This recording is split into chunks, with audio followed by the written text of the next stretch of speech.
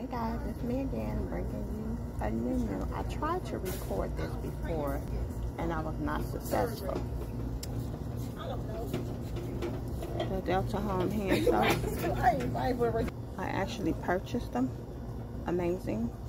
Smells just like lavender. This one smells just like kitchen lemon and just really smells like lemon. But it lathers very well and this is another one that I saw that I thought was really interesting and I really like. The Delta Home. They have a couple different scents.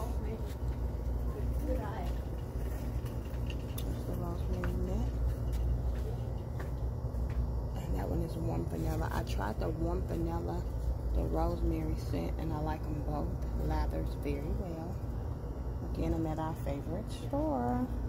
Okay, this is a new seasoning. I think I'm gonna have to try this.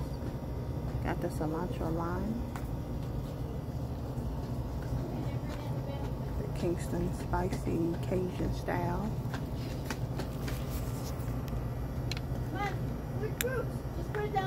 These are the same.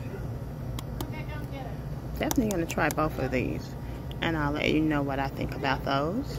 Found another one, herbs, and I'm sorry, garlic and herbs. I'm gonna get this one too.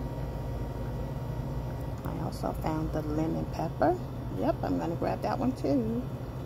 I enjoyed um, some good, good food on the grill, so these are going to be in addition to my spices for grilling. I'll let you guys know what I think about them.